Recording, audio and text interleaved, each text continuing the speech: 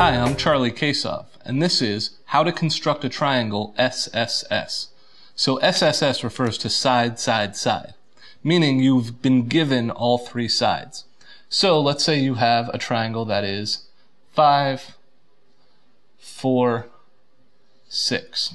That's it. You just put the sides together and create a triangle. However, if you've been given three numbers, you have to be careful that they can actually create a triangle. So 5, 6, and 4 work because they satisfy the triangle inequality theorem. Meaning, all sides of the triangle, for all sides, two of the sides have to add up to more than the third side.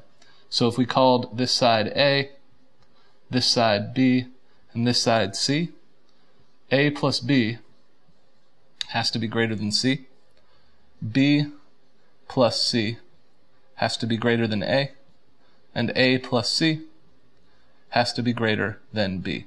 If these three uh, properties are not fulfilled, not satisfied, then you cannot construct a triangle with the three sides.